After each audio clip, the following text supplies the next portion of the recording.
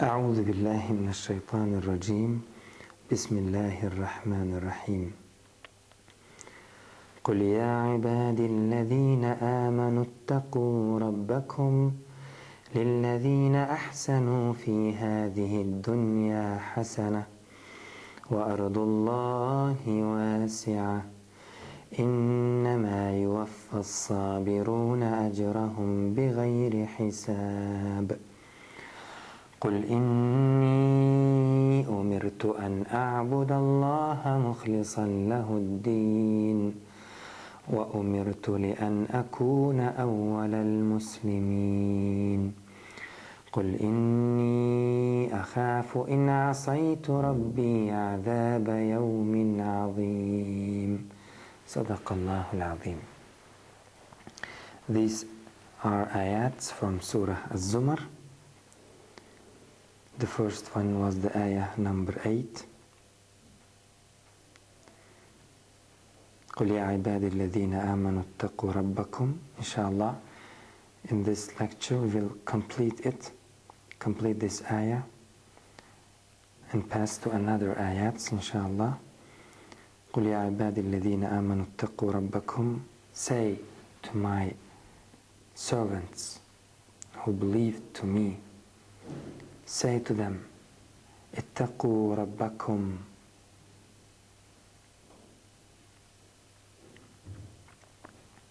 keep your duty to Allah Azza wa Jalla protect yourself from Allah Azza wa Jalla للذين أحسنوا في هذه الدنيا حسنة and keep in mind that for those who does righteous deeds in this life there is for them a good things in another life للذين أحسنوا في هذه الدنيا for those who did righteous deeds good deeds or beautiful deeds in this life there will be hasana for them in the hereafter وأرض الله واسعة and the earth of Allah is spacious وأرض الله واسعة إنما يوفى الصابرون أجرهم بغير حساب actually those who are patients those who are who wants to be patient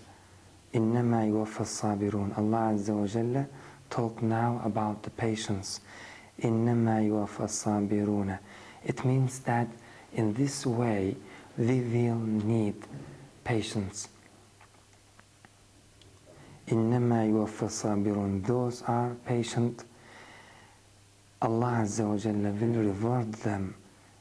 Ecrahum bighayri hesab. Their reward without reckoning. Allah will not measure their reward, will not weigh their reward. It will be uh, without measuring, without uh, weighing them. What does it mean? It means that it will be, it will increase every time it will increase it will not stop Allah Azza wa Jalla will reward them uh, without limit إنما يوفى الصابرون أجرهم بغير حساب but uh, the essential thing in this ayah is the sabr uh, we should understand from the ayah that the way uh, which Allah Azza wa Jalla wants us to live in this life to seek the truth and live with the truth and live in an accordance with uh, the truth. And first of all uh, finding the truth all of them is a hard way. It's not an easy way. The people or the man the one should sacrifice for it should sacrifice for the hidayah should sacrifice for the uh, truth. If you want to reach the truth if you want to reach to the guidance, guidance if you want Allah Azza wa Jalla bring you guidance you should sacrifice for it from your time from your money. You should seek uh, it. And uh, this all of them uh, need patience. You have to be patient in this way if you're not patient in this way, you will not attain uh, the result. You will not attain the reward of Allah Azza wa Jal. So Allah Azza wa Jal in, in, in one ayah say, says, وَلَا يُلَقَّاهَا إِلَّا الصَّابِرُونَ No one will reach the paradise, the reward of Allah Azza wa Jal, except those who are patient. You have to be patient. You have to be able to sacrifice in this way. And in this ayah, the ayah number 8, uh, in the previous lecture, we uh, saw that Allah Azza wa Jalla talking about immigrating from one area to another area, from your homeland to another land. Actually, immigrating from your home, homeland to estrange is something difficult. And this is the sacrifice. And in that time, at that point, you will need sabr. And you have to be patient. You have to show Allah Azza wa Jalla that you are patient without your relatives, without your uh, homeland, and whatever uh, belonged to you in that land. You left all of them in order to please Allah Azza wa Jalla, in order to uh, seek the truth, or in order to leave the truth.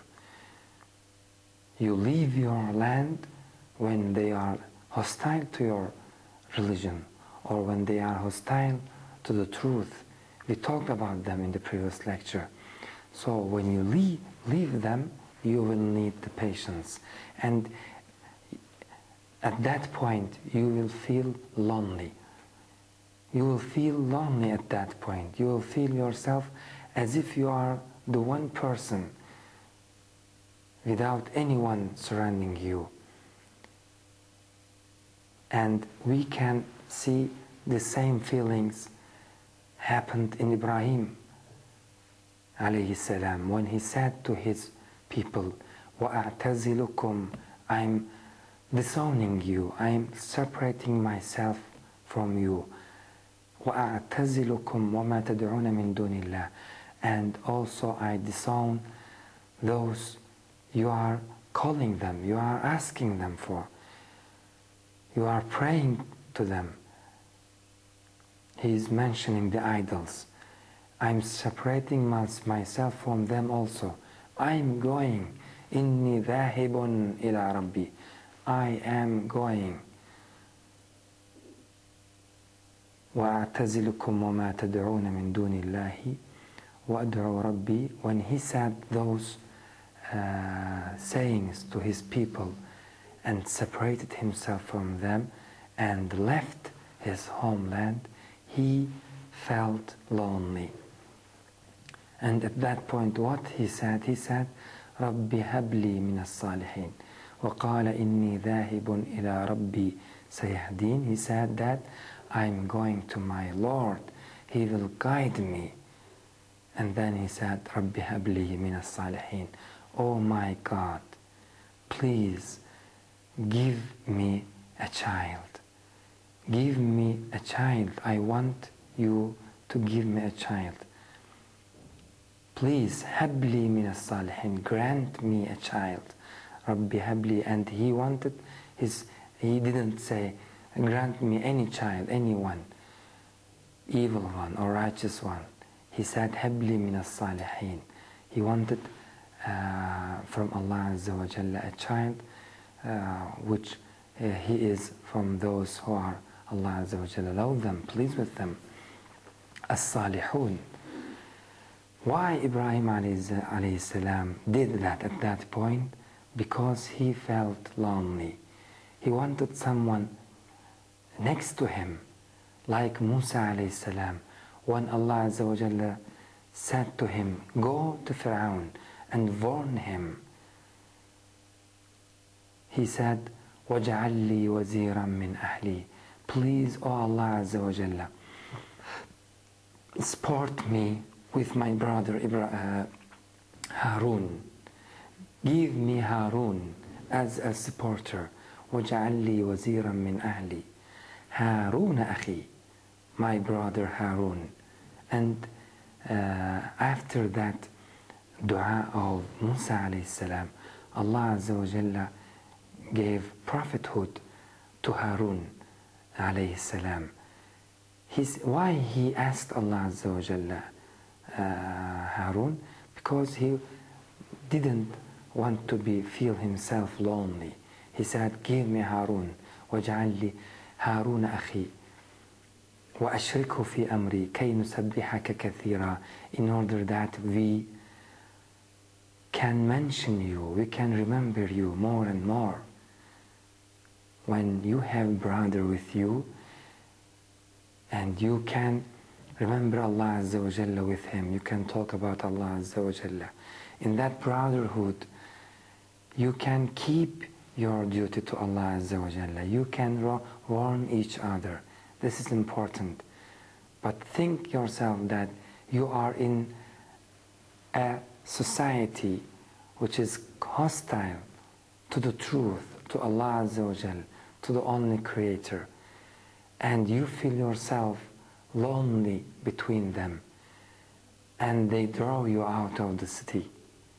At that point you will need much more patience and Allah Azza wa Jalla so therefore Allah Azza wa Jalla says إنما يوفى الصابرون those who are patient the Jews was not understanding this reality. They were asking their prophet, why Allah Azza wa Jalla wants us to be patient? Why should we sacrifice? You say that Allah Azza wa Jalla has all the power, He can do whatever He wants. So tell Him, give us food, tell Him, give us successful, tell Him, give us whatever we need. Why Allah Azza wa Jalla put us in adversity? Why we should be patient? They couldn't understand this point.